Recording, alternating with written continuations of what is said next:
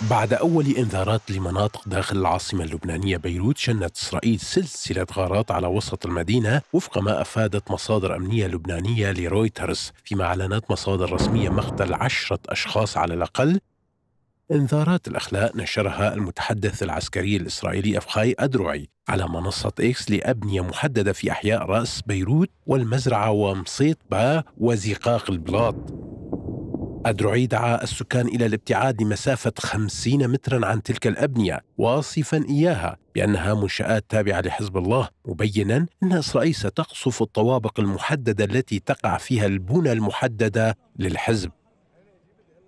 بدورها قالت وزارة الصحة اللبنانية أن الغارات الجوية الإسرائيلية قتلت ما لا يقل عن عشرة أشخاص في وسط بيروت الثلاثاء وذلك في أعقاب أوامر الاخلاء الإسرائيلية التي شملت تلك المناطق للمرة الأولى على الإطلاق. في المقابل نفى حزب الله أن يكون له مراكز في المناطق التي استهدفتها إسرائيل وسط بيروت مساء الثلاثاء بحسب ما صرح به النائب اللبناني عن الحزب أمين شري. ونفذت إسرائيل في وقت سابق غاره على منطقة نويري المكتظة بالسكان في العاصمة اللبنانية دون إصدار أنذار بالاخلاء. وقالت وزارة الصحة اللبنانية أن سبعة أشخاص على الأقل لقوا حتفهم في الغارة كما أنها شنت بعد ذلك بدقائق ما لا يقل عن عشر غارات على الضاحية الجنوبية لبيروت.